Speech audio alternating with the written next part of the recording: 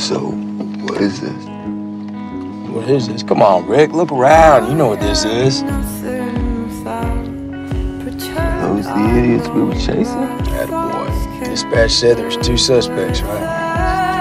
Yes, there was. Third man. Changed everything, didn't he? He ran with men who tried to kill you. You gonna bring him back to where Lori sleeps? To where Carl sleeps? Is that what you're doing? Looking for your family? See, that's not entirely true. One could argue it's my family you're looking for, right?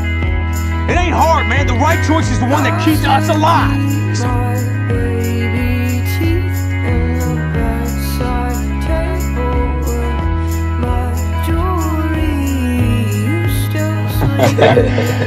Ah, you're, you're such an asshole. Yes, I am. Yes, I am the asshole.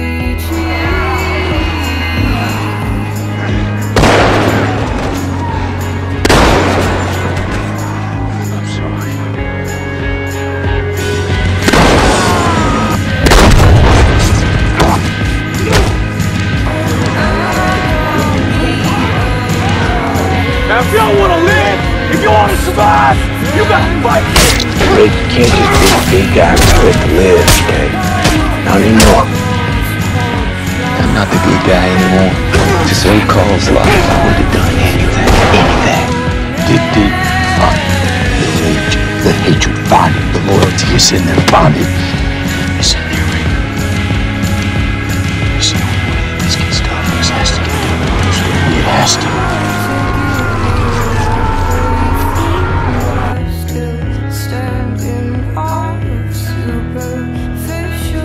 Raise your gun.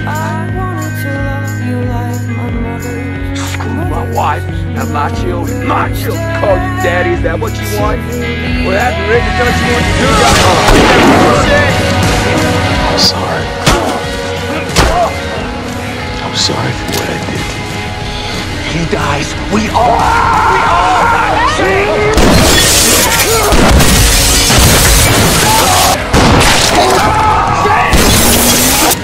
Right here, right now, you ain't gonna fight for him. I'm a better father than you, Rick.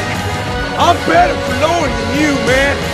I'm a better man than you, Rick, because I can be here and I'll fight for it. But you come back here and you just destroy everything.